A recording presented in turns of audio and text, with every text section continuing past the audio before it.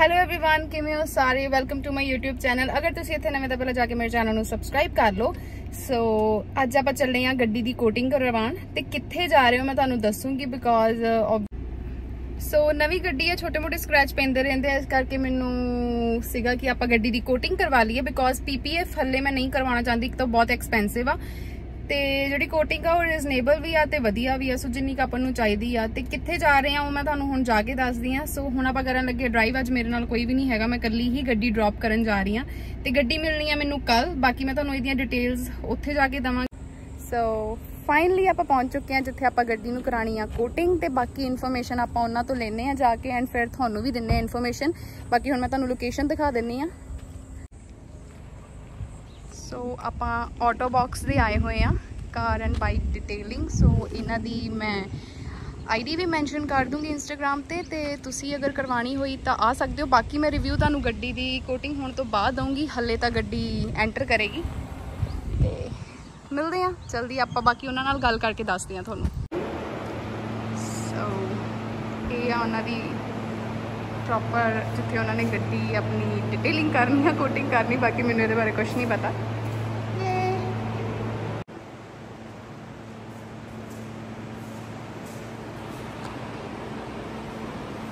ਬਾਕੀ ਡਿਟੇਲਸ ਆਪਾਂ ਤੁਹਾਨੂੰ ਕੱਲ ਜਦੋਂ ਗੱਡੀ ਦੀ ਡਿਲੀਵਰੀ ਲੈਣ ਆਵਾਂਗੇ, ਉਦੋਂ ਦਵਾਂਗੇ ਬਿਕੋਜ਼ ਜਿਨ੍ਹਾਂ ਨੂੰ ਨੌਲੇਜ ਆ, ਉਹ ਛੁੱਟੀ ਤੇ ਜਾ ਚੁੱਕੇ ਕਿਉਂਕਿ ਬਹੁਤ ਜ਼ਿਆਦਾ ਟਾਈਮ ਹੋ ਗਿਆ ਆ। ਤੇ ਫਿਰ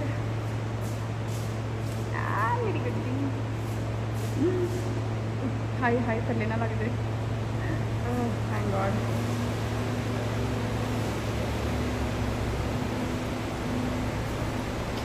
ਸੋ ਇਹ ਆ ਗੱਡੀ ਬਿਫੋਰ ਹਲੇ ਕੱਲ ਮਿਲੇਗੀ ਆਪਾਂ ਤੇ ਹੁਣ ਕੱਲ ਦੇਖਦੇ ਆ ਕਿਵੇਂ ਦੀ ਲੱਗਦੀ ਹੈ ਸਾਡੀ ਲਾਡੋ। ਯੇ ਬਾਈ Lado. So finally next day start ਹੋ ਚੁੱਕਾ ਹੈ ਤੇ ਹੁਣ ਆਪਾਂ ਆਪਣੀ ਗੱਡੀ ਦੀ ਲੈਣ ਆਏ ਆ ਡਿਲੀਵਰੀ ਤੇ ਹੁਣ ਆਪਾਂ ਅੰਦਰ ਜਾ ਕੇ ਨਾਲੇ ਤੁਹਾਨੂੰ ਸਾਰੀ ਇਨਫੋਰਮੇਸ਼ਨ ਦਿੰਨੇ ਆ ਕਿ ਉਹਨਾਂ ਨੇ ਕੀ ਕੀ ਚੀਜ਼ਾਂ ਕੀਤੀਆਂ ਨੇ ਤੇ ਤੁਹਾਨੂੰ ਗੱਡੀ ਵੀ ਦਿਖਾਣੇ ਆ ਬਾਕੀ ਚਲੋ ਆ ਚੱਲਦੇ ਆ ਅੰਦਰ। ਲੈਟਸ ਗੋ ਗਾਇਜ਼ ਅੰਦਰ ਚੱਲਦੇ ਆ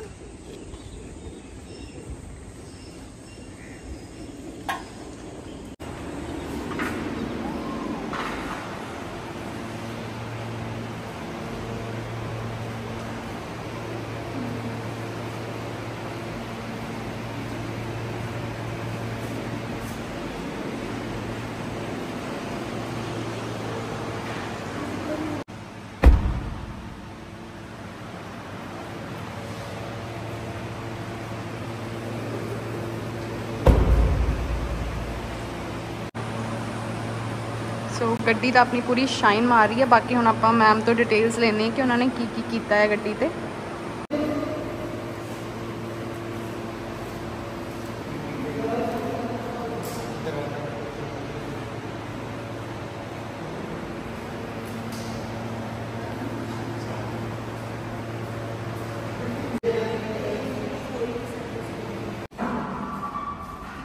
ਵਾਲੀ ਨਹੀਂ ਹਟਣ ਦੇ, ਮੇਰੇ ਕੋ ਇੱਧਰ ਬੋਲਿਆ ਨਹੀਂ ਜਾਣ ਰਿਹਾ ਬਾਰ-ਬਾਰ।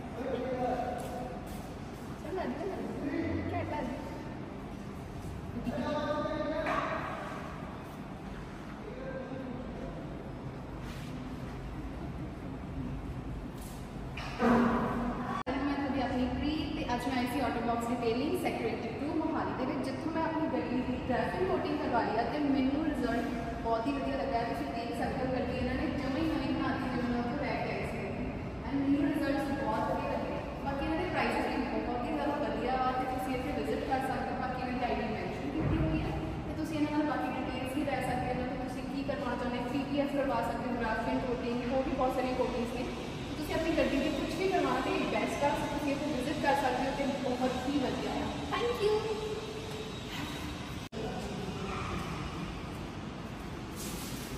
Heidi?